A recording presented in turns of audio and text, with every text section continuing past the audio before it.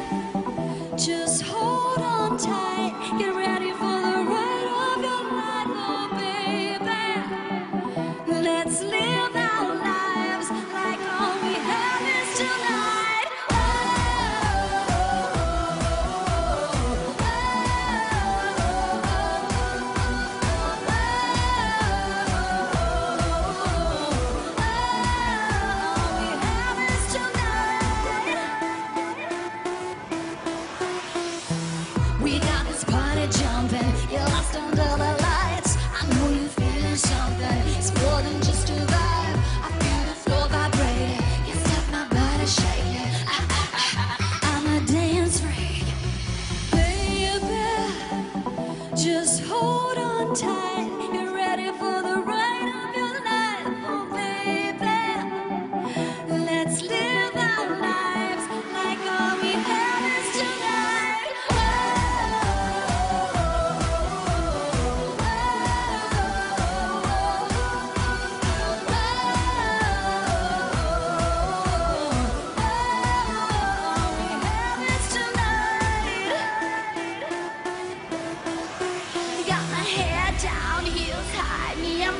up the sky. If you're feeling it, then let me know. Feel